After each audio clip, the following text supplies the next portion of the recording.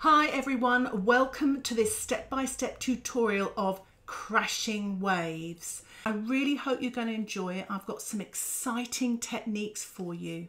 I'm going to be using masking fluid to mask out the waves. If you don't wish to use masking fluid, you can just paint around the waves and you can use white paint at the end of the painting to splatter the spray.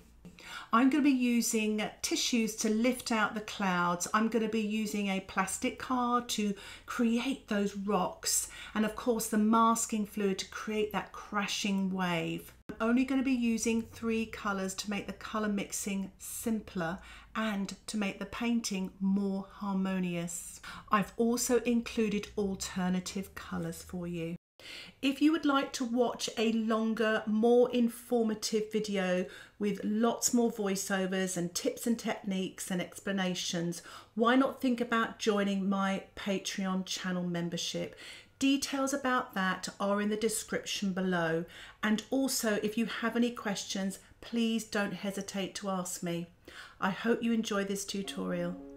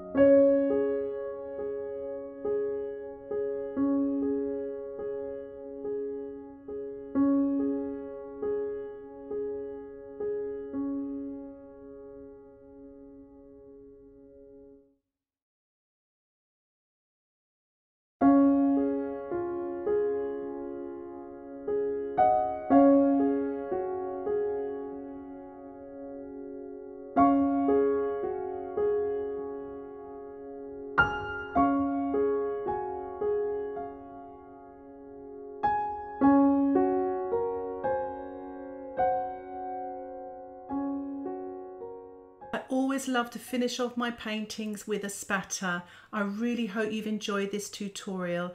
As I said earlier, if you want to watch a longer, more informative tutorial, check out my Patreon membership. It has the full voiceover for this video. Thank you so much for watching. If you'd like to get updates of my latest videos, why not subscribe to my YouTube channel? Thank you again for watching. Happy painting. Bye for now.